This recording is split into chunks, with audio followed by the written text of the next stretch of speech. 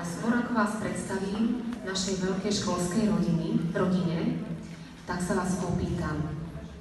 Viete vy vôbec, čo je toto za koleso?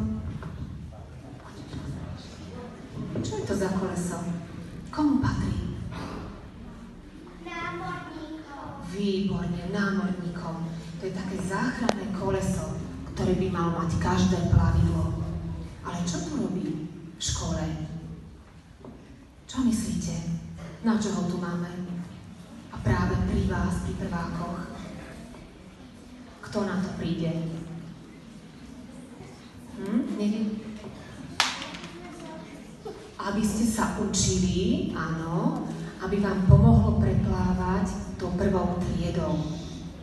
No a tým, že ste spravili krok práve cez toto koleso, ocitli ste sa na palube lode našej prvej triedy. Tak ako každý námorník, kapitán túži objavovať nové svety, aj vy budete objavovať.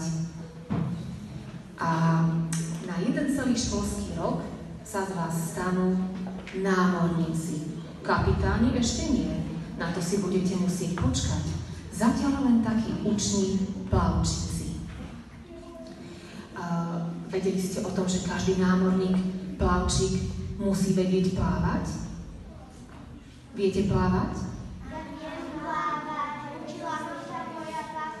Výborne. Lenže vy nebudete plávať v takej hociakej vode. Vy budete plávať pomedzi písmenka, čiarky, e, neskôr slova a vety. Dokonca aj pero pri tom budete používať. No a niekomu učaruje plávanie možno pomedzi čísla, príklady a tak ďalej a tak ďalej. Každý taký plavec, námorník musí byť zdravý ako repa. A to svoje zdravie budete rozvíjať na hodine, ktorú má hadam každý najradšej. A to je telesná výchova. Však Daniel, krásneča. Ale dosť bolo rečí. Všetko sa pomaly a postupne dozviete. Dobre? Veď na to máme spoločne celý školský rok. Milí prítomní, dovolte mi, aby som vám predstavila plavčíkov prvákov na palube lodi prvej triedy, ktorá onedlho vypláva na dobrodružnú plavbu za poznaním. Takže poprosím ako prvú Anetka Brngalová.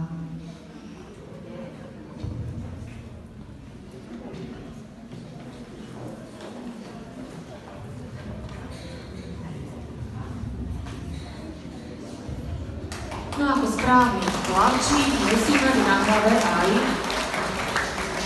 nejakú čiapku. Ako druhý poradí Čano Ondrej. Nech sa páči.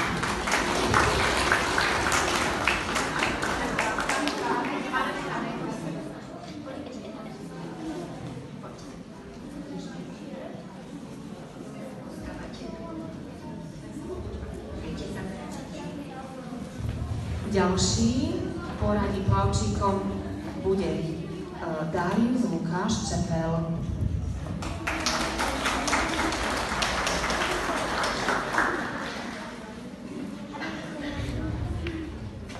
Štvrtý v poradí Ďanovský Dávid.